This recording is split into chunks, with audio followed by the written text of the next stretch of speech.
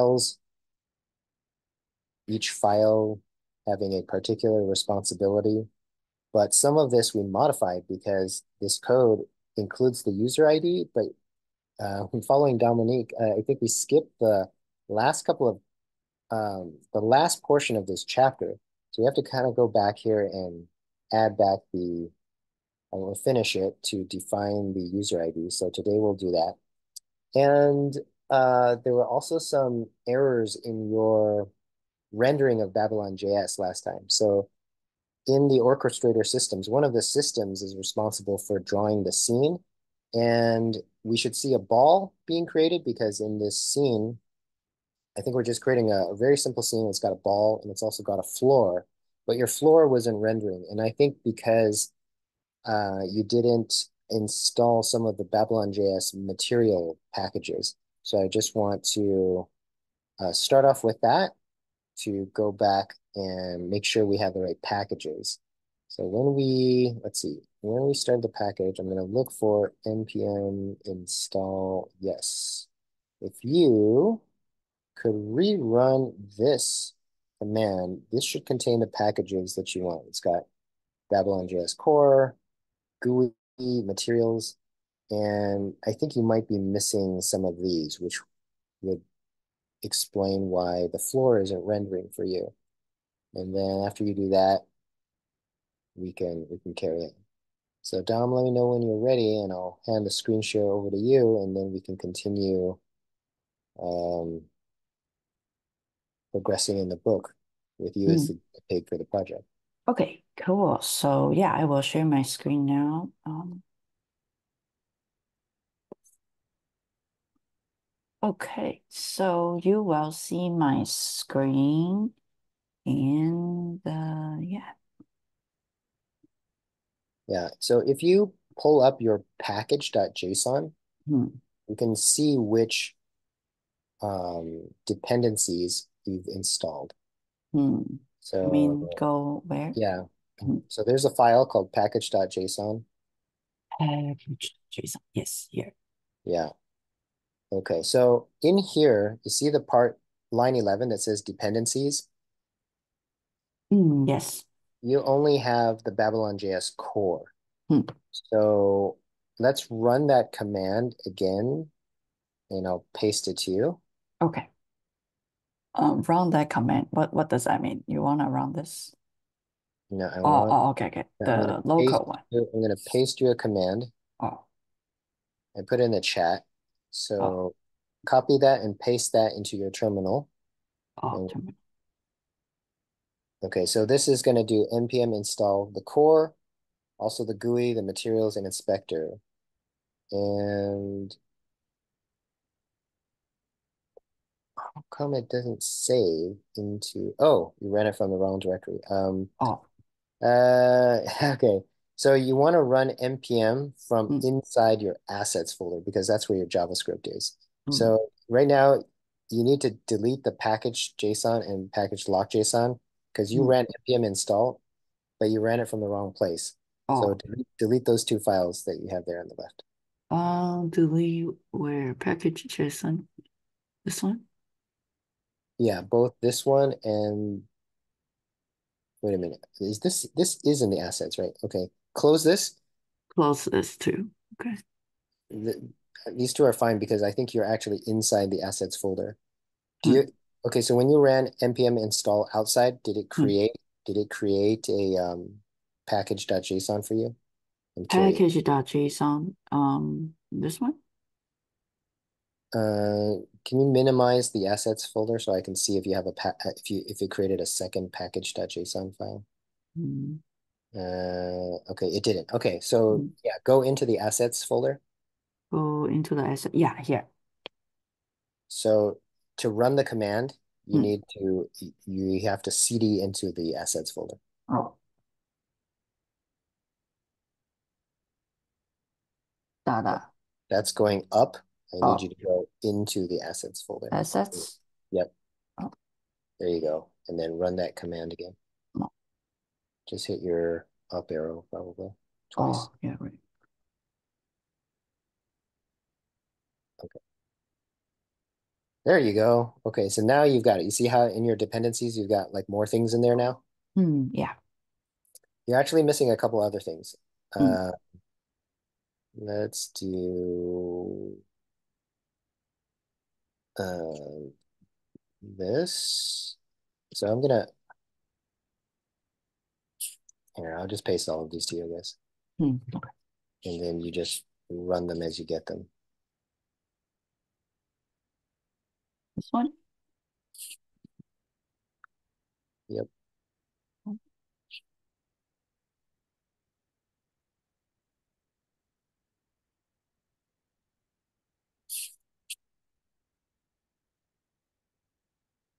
Okay, I pasted all the ones that you need. So Uh, this one and the second one.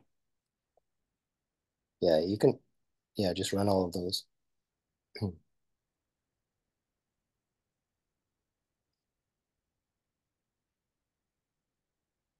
Okay, so now let's run your server again. So make sure you cd up up into your root folder, not the assets folder, to Hmm. run your server.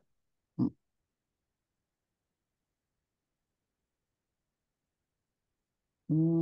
Where? You need to run your server. Remember how to run your server? Um, uh, get out of here, right? Control C, Control C. No, your server isn't running, so you don't need to Oh, control duck, duck, control. C. Hmm. Uh, yeah, you need Docker, but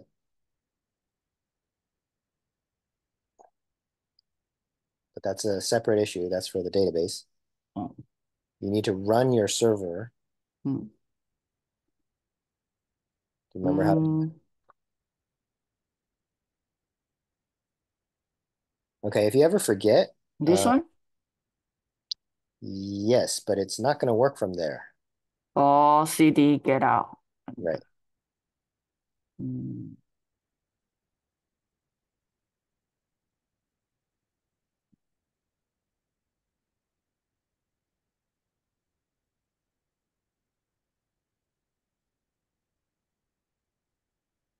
Uh, get out of this folder. No, you're fine. You want to be in your root folder, which is where Oh, you are. Okay, and then go check your browser again.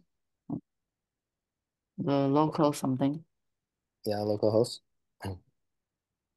Okay, jump into a room and let's see if you see a floor. Oh, yeah. Hey. Okay, great. So your controls are working. You can click like forward arrow, Oh, um, back arrow, move mm, left, right, and turn. mm, So this is our basic scene. So you have a scene ready, mm, powered by Babylon.js.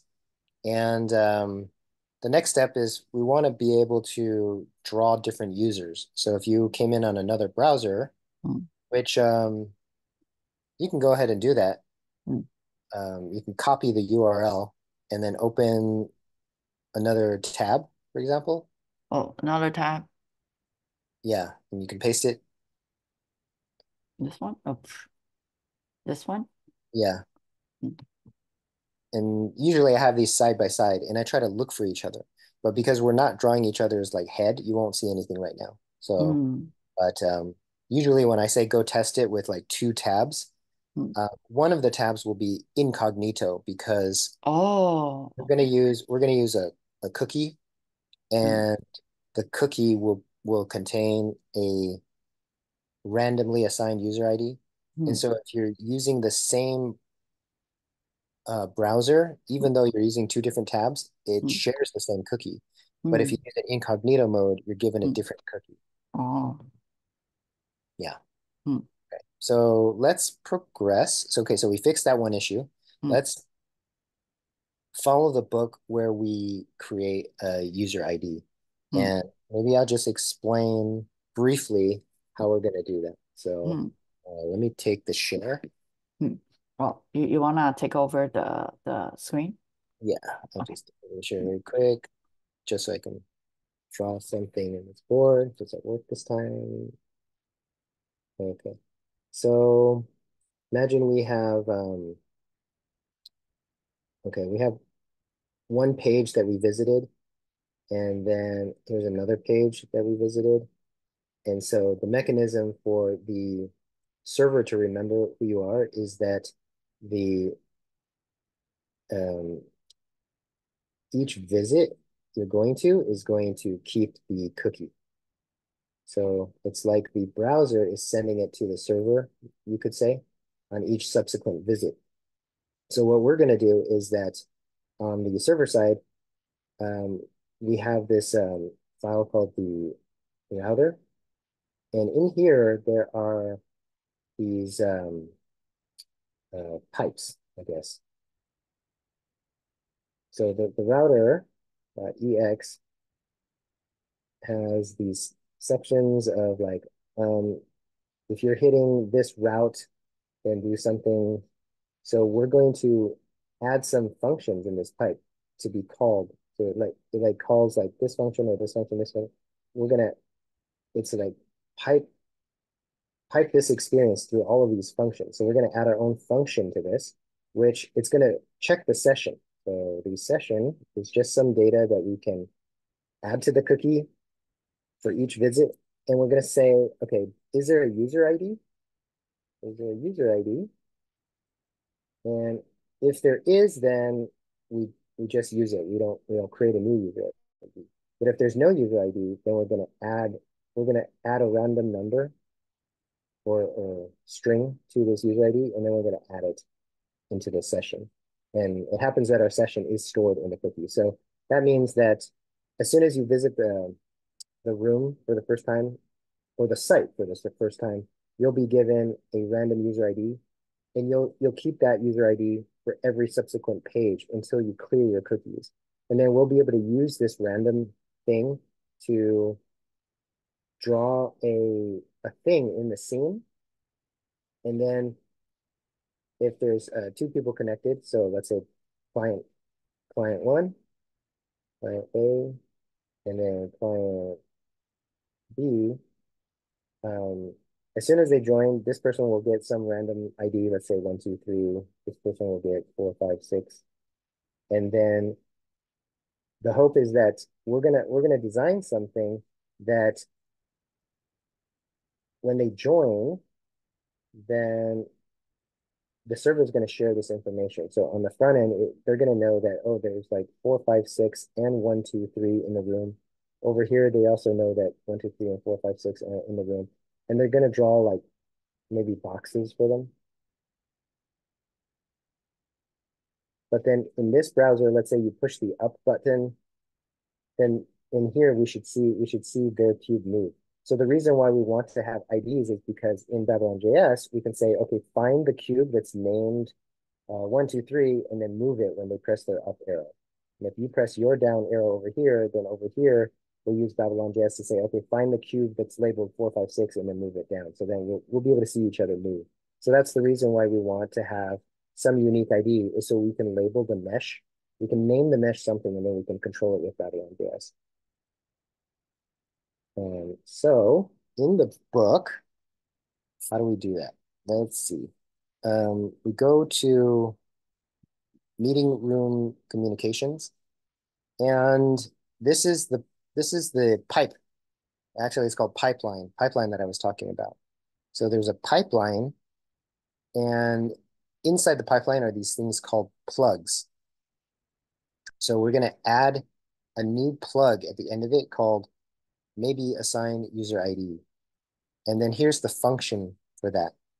And then this thing, each, each plug function gets an incoming data structure called the conn or connection object or whatever. And all it is is it's a it's a map or dictionary of values that uh, come from the incoming request. Things like, um, you know, what's the host? What's the path that you're trying to get to? uh, what's you know the page you're trying to access, the um, what kind of files you you take, etc. So it's a very um, complicated object. The only thing we need to pull off of it is there's these helper functions that uh, Phoenix provides called get session. So you pass it that complicated object and you check to see, is there this uh, value on it? So this colon user ID is, um, it's um, it's an atom in Elixir. This is called an atom. So it's saying, is there a user ID in this in this session? And then this case statement says, if nil, so there is no user session, then we're going to use this utility function that we made in a previous Skillshare to say, then user ID is this random thing. And then we're going to use this function to put the session back into the conn. In Elixir, you can pipe these functions. So this pipe operator actually means that this is actually in the first, first variable. And the output of this is in turn piped as the, the output of this is another conn. It's a modified conn. So you take the conn, pipe it in here, you get a new conn, and then you pipe it in here, which is another helper function to keep sort of chaining these things together. So you take that conn and you put this this Atom user ID with the value of that string, that random string. And then um, you assign this as a variable. So assigns are things that are available in our templates. Um, if there, if you do find the user ID, so you have an existing ID in the in the session, then you just assign it in the assigns, which is a which is a map or dictionary that's available for the for the front end templates if you wanted to output that variable. So in both cases, we're adding it to the assign, but we're only adding it into the session if, if it wasn't there. Uh, we don't need it to add it to the if this is the case. So you're going to add this code to your router, or you can search router. You're going to add it to this, this page. And that will give you a unique user ID. So why don't you do that first?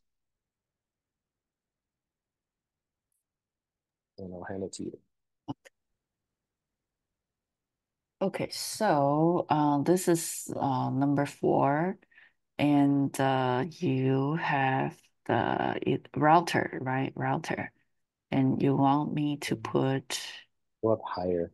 higher. Oh, wow. This part. This one? Mm -hmm. Okay, so in router, oh, yes, in router, one, two, router, router.ex, this one, mm -hmm. um, type this function. So this one will be, um,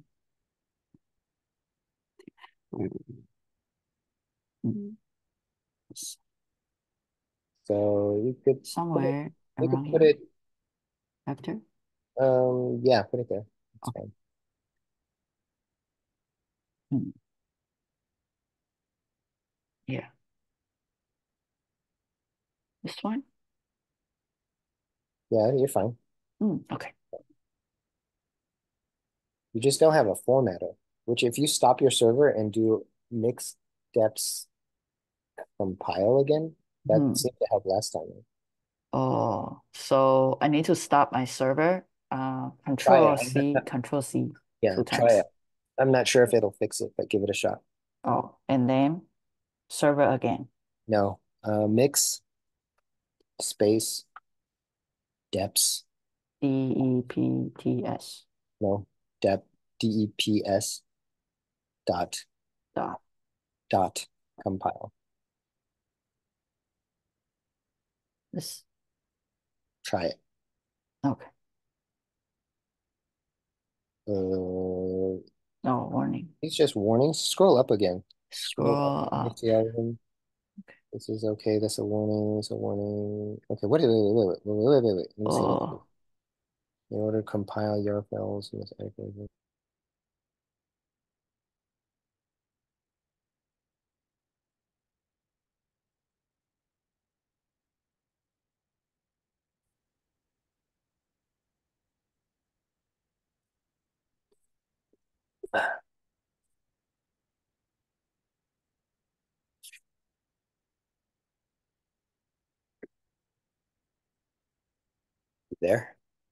Which one?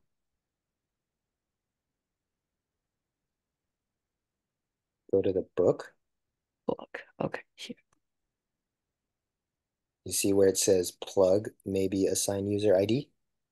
Plug, um, maybe assign user ID. Oh, here. No, you just did that. Oh. Oh, this one? Yeah, grab that line At this line.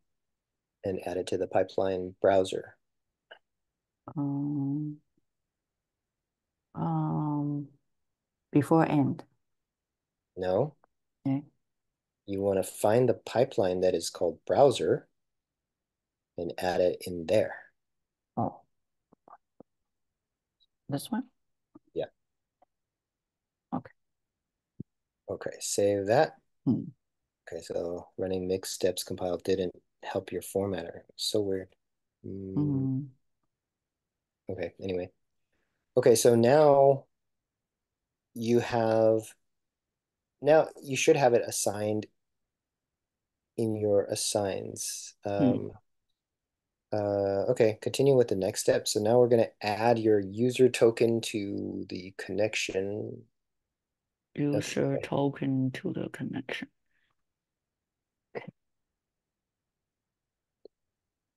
Okay, so this one? Yeah. Okay, add user token to connection. We now have a unique user underscore ID in the cookie session, but we need to send it down to the front end encrypted as a user token. Let's add another function plug plug in router.ex for creating an encrypted token from the user underscore ID. We will then pass this to the front, front end so it can be passed back to the server and verified in the user socket. Yeah, so all of this is So, secure. mhm, It's just to secure our um, user socket. Yeah, so you can copy that and then Mhm. paste it back in the router underneath Mhm. other in the function. round router, um, Yeah, probably around here. Sure. Mm, Okay, and then also add it to your plugs. Oh. So add um, user token to blocks. So these functions will run on every page. Hmm. Okay. And then you're going to add the token to the front end. So continue with the book. So um, add user token to front end. Now we need to pass this token to JavaScript. We could add a, a snippet to of JavaScript to set the token on window object, but I am paranoid that the evaluation order of script tags make makes this valuable uh, vulnerable to race conditions. I will sidestep the yeah by just injecting the token into HTML at uh, root.html.heex layout. This is also what Phoenix itself does with the C uh, SARF SARF uh, token. It's called the CSRF token. Oh, CSRF token. So root html.heex root.html.heex um but here. Uh, there's a token meta name user token. Be probably somewhere here this one Yeah. Mm. Put add user token to client-side socket connection code. That user token document. This one. Then when we make the live socket in app.ts, let's grab it and pass it in the live socket constructor options. Again, this is following that Phoenix does the does with S uh, CSRF underscore token your live socket should look like this, uh, app.ts. Um, oh, grab it past live socket. Okay. uh, import live socket. Yeah, well, I think So you can just replace line 10. line 10. Oh, so this one? Yeah. Okay. So yeah, let user token document query this thing. And then verify user token in server side socket connect callback. Now we open up user underscore socket dot ex and replace the default connect function with this snippet that will verify the user token. So this one, open up user socket dot ex, user socket dot ex here. And then in um um so get a get a function there. Go to the bottom. I Hmm. think there's a connect a, a little higher. So just paste over this line 39 and 42. So delete this. Yeah, delete. Well, Well, and also delete line 55. 55. oh, 55. There you go. Hmm. Okay, save it. And scroll down. Hmm. And then, yeah, you're going to want to copy and paste this into the room channel.ex. Replace the join function. Oh, uh, verify room channel gets user ID. At this point, we have complete authenticating the socket and we have this additional user underscore ID and in the socket we can use in room channel. Let's test that everything is hooked up properly by uh, broadcasting the room underscore ID and user underscore ID whenever any client joins. Open up room underscore channel dot ex. Room underscore channel dot ex. And modify join, join. Mm. This one. Uh, so copy and paste here, dev and in, copy and paste. Um, can you scroll down? Oh, Let's scroll down. No, no, no. In the book, sorry. In the book. Mm, mm. Oh, book. Need to do something because it calls an after join. So we need to, okay, yeah, grab and paste that Hmm. into, yeah, grab that code there, Hmm. which is the handle info, not that one. Oh, oh, down here. Yeah. And uh, okay, here. Right. Um, um, the join function on a successful operation should return a true, uh, a, a, a true tuple, tuple with something, okay, socket. Here we are adding the room underscore ID into the socket. So we have some memory to use in another handlers. User underscore ID is already in the sockets assigns thanks to the user socket connect callback, putting it in there. We did that. This send function is a built-in function that will send a message to any Elixir process. Let me, In let me just explain because you've, you've done it and maybe Yeah. the explanation isn't too clear. Hmm. Okay, Okay, so we have, yeah. we have all this stuff in order to, we put a unique user ID into the session, right? And then let me just clear this and clear it. So when we connect to the server, if this is our server, the first thing we do is connect to a live socket. And we are piggybacking on live socket. And this kind of piggybacking kind of breaks off into this code, which is implemented in user socket. And the user socket, we're passing it some kind of secret thing. And in here, we want to, this, this secret is encoded somehow, and then we want to decode it to get back the user ID. So we encoded the user ID into a token. Sorry, it's a token. And we did that in the um, pipe, pipeline.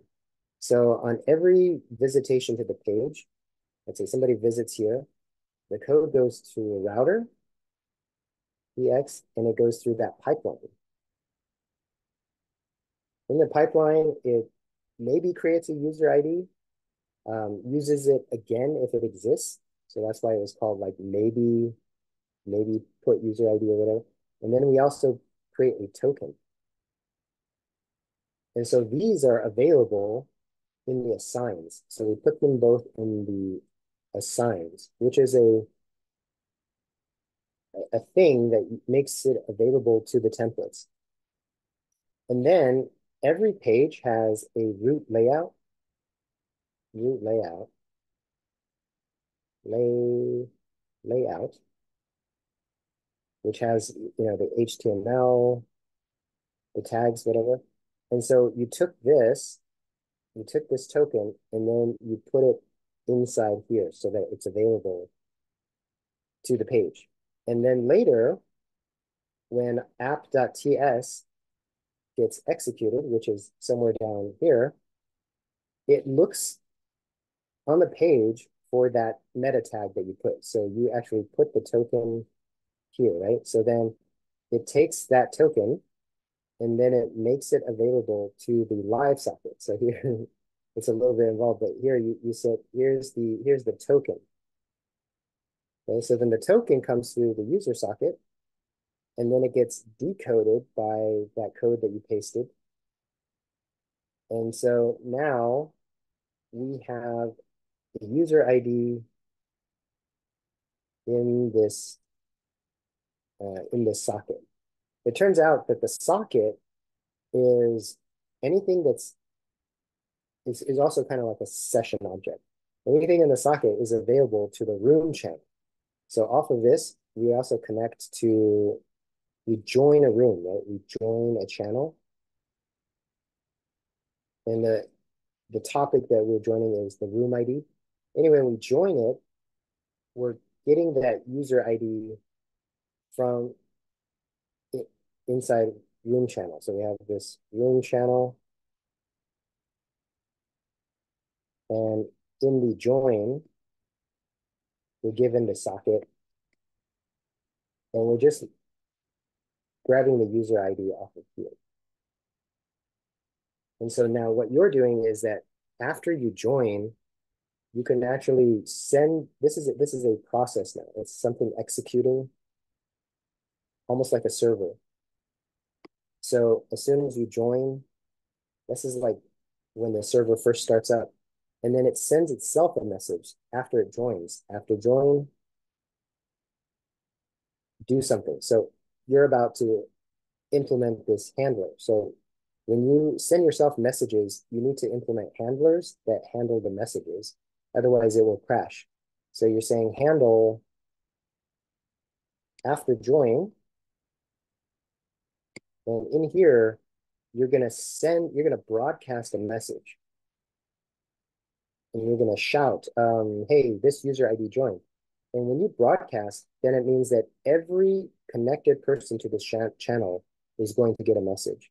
So to test this, after you implement the handler, we're going to open your browser, two browser windows on your machine. This one will be in incognito, and you're going to open up the console log at the bottom of both of them. So when when this one opens, you should see um, user like one, two, three join. And then when you open this one, then in this one, you're going to say user, user, let's say four, five, six join. But also this one will receive a two, user four, five, six. And so this is a demonstration that you've now hooked up communications between multiple browsers in order to identify when people are joining. And this person, uh, because they uh, joined first, they got their, their own message. Um, this person didn't see this message because you came later, right? But it saw its its own message. So that's what we're going to test next. So coming back to you, if you could share your screen again, that's what that chapter in the book is saying.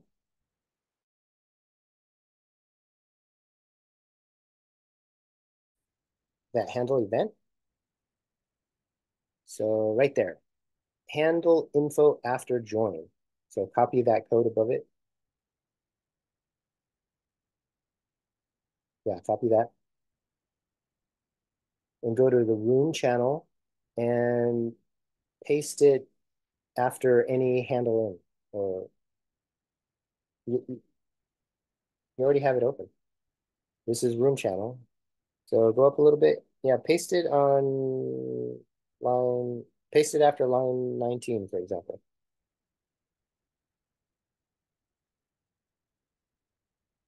Okay. So on line 23, it says it's going to broadcast shout, and you're going to um, populate a map that's like user ID, and then scroll a little bit to the right. User ID, scroll to the right. User ID and room ID. So going to say user ID join. Okay, so save this. Okay, now is your, yeah, your server started. Okay, yeah, let's go ahead and test this. So go ahead and go into your browser.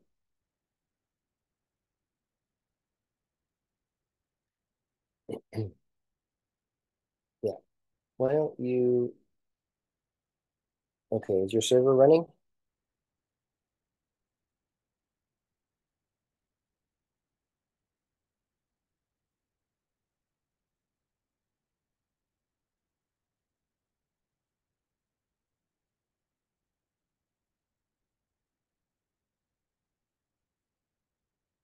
Let's see if there's any errors. Can you stop your server? Uh, close that tab.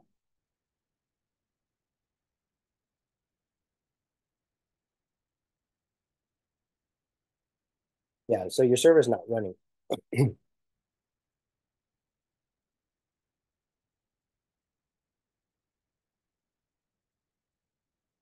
Start your server, please. There you go. And close one of your tabs because you got two tabs open for localhost.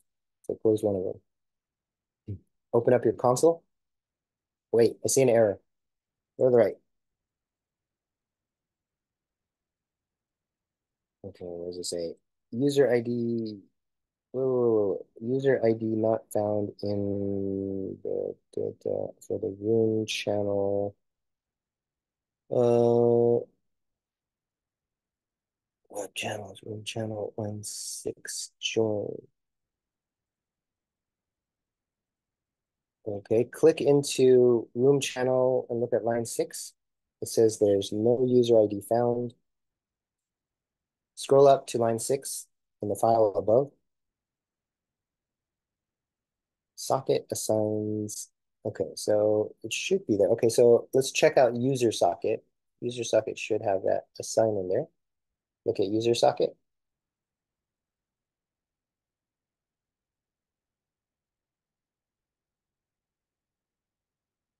Then scroll to the slower.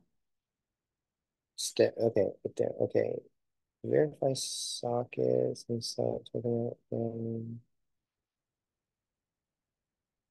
the assign into the socket user ID, otherwise it should error. Mm -hmm.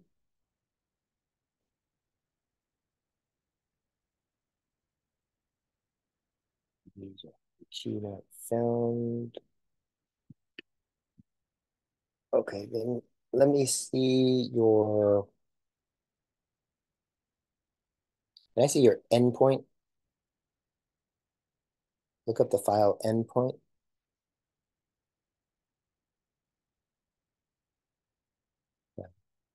you have this. This is user socket. Okay, that's fine.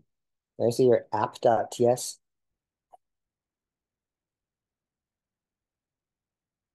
Ah, you didn't save it. Okay. You can get attribute, user token. Okay, so refresh. Refresh. Okay, no more red. Open up your console log in the browser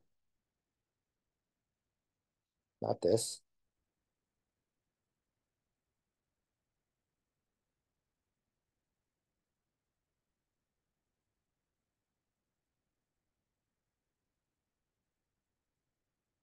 Go back to the other tab. Open up your console log.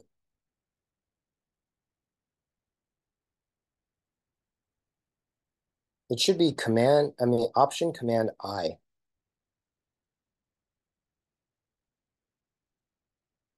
Okay, go to your console tab. Okay, join success. Okay, uh, let's see. Refresh this again. I don't see the message. Oh, maybe because we're missing the shout part. Okay, let me see. Um, right. Let me see your um. Uh, let me see your uh your broker system. Go to broker.ts.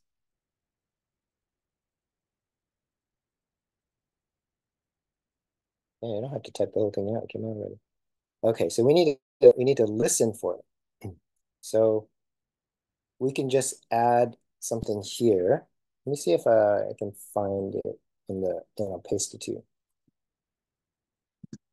Channel. Um,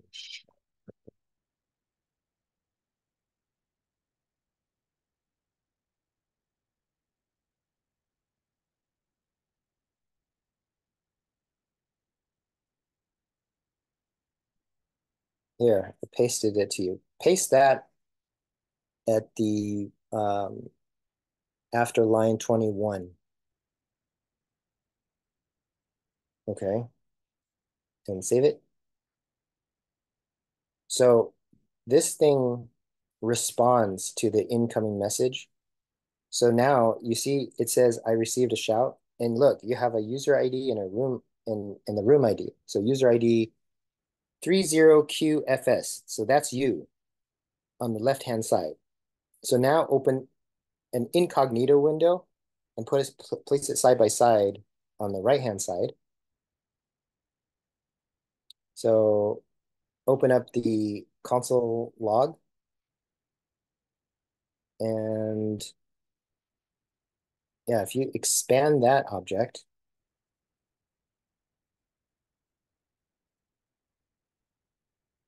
so so that's telling you your ID. Okay, that message still came from the left. So if you refresh the right side, so if you Command R, refresh the right side, notice how the left side received that too. So you're both in the same room, 5RWZH, but the browser on the right side is 82U2P. And if you refresh the left side, your browser on the right should get a new message too. So the browser on the right got 30Q. And so if you refresh the left like three times, you'll get three messages on your right.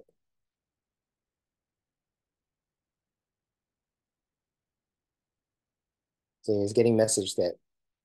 So anytime anybody comes into the room, you could open up another browser like Firefox or Safari, and it should still do this. So you can open up other browsers, and anytime you join the room, everybody who was in the room will receive a message of who joined the room.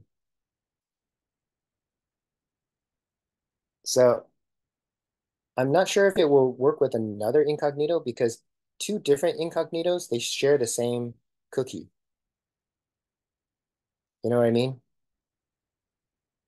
So you probably have to open a different browser like Safari to get a different cookie because the way we implemented the unique ID is with the cookie session and cookie sessions, they're different. I mean, they're the same for the same domain name. And right now we're using a local development local host. And so the only reason you got a different user is because you use incognito, but the incognito, I think, is the same session for all incognito tabs. So if you want to see like another person connected, you you can like use Firefox if you have it, or use uh, a Safari browser, which I you definitely have.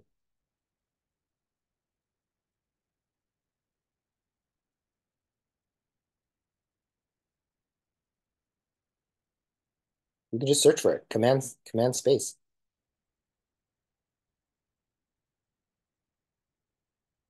Safari. There it is. So if you paste the room in,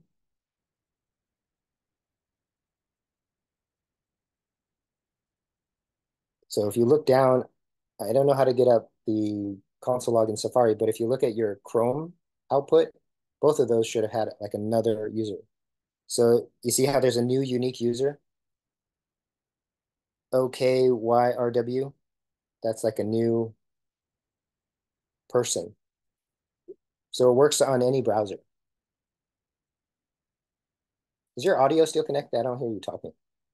Oh, oh, okay. Yeah. Yeah. Okay. So there are three users right now.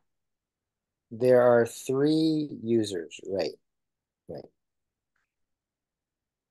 So we've made sort of the networking part, the communication between the three. Mm.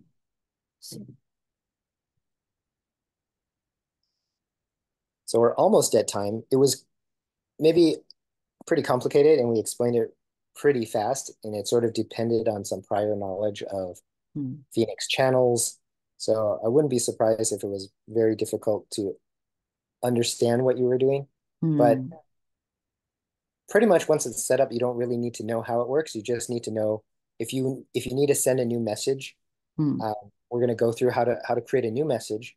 And Mm. then all you want to do is be able to respond to your new message and just know Mm. that it's connected everywhere. So that's really all you need to know. Mm. It it's going to work. So in the future, Mm. we need to be able to craft messages. For Mm. example, how should I say like I'm moving from here to there? We're going to send a Mm. location. How should we say that a person left, right? We haven't done that yet. Mm. So right now, if you close the browser, you're not going to get a message. So in the next couple of chapters, we're gonna we're gonna figure that stuff out. We we want a message anytime somebody joins. We want a message anytime somebody leaves, Mm. so we can remove their mesh, remove their avatar from the scene. We want to Mm. receive a message anytime somebody moves, Mm. and we also want a way of like tagging other objects with other pieces of data. For example, um, maybe there is something you want to pick up. You don't want to be able to pick up every object in the scene, right? So Mm. maybe we'll mark certain objects as as holdable, things that we can grab, Mm. um, and things that are um, that can control how they look. For example, their color. We can add those kind of components to things. So we'll be setting up that that kind of stuff up in future chapters. Mm. But now you have a milestone. We have a a scene to look at, and we have Mm. some communications. Now we're going to Mm. tie the communications up with the scene. Mm. So that would be very exciting, right? We're going to be able to send messages and use Babylon JS to say, okay, I got this message. What do you want me to do with the scene?